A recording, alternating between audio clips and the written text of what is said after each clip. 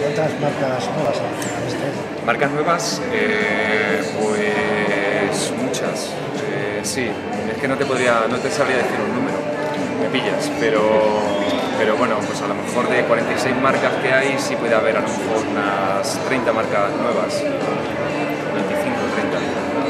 ¿Sobre cuántas personas creéis que viajan a la Eso hasta el domingo no, no te lo puedo decir. Sí, no, porque depende de muchas cosas, ¿sabes? Si llueve, no llueve, tal, o sea, un mogollón de cosas.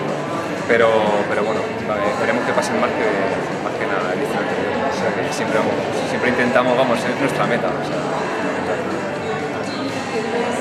Sí.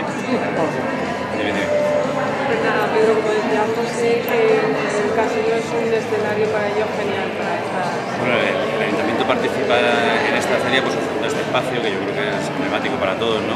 Y la verdad es que resulta muy bien. Yo quiero destacar la labor que hace esta especie de, mini, de miniferia, ¿no? Como aúna dos conceptos que son el diseño y la artesanía, llegando a esta conclusión tan contemporánea y tan actual. A mí realmente me parece sorprendente ver lo que encontramos en estas mesas, que son objetos que no sabes dónde, cómo han llegado muy bien ahí, si viene a la artesanía que evoluciona hacia el diseño, del diseño que evoluciona. El caso es que es un punto de encuentro súper interesante y una obra que estáis viendo que es súper contemporánea, ¿no? que realmente la podemos encontrar pues, en las ciudades más, más, de actualidad. ¿no? Parece que estás pasando por zonas completamente modernas, como puede ser el centro de Madrid, la zona de Foncarral, donde ves este tipo de propuestas eh, contemporáneas.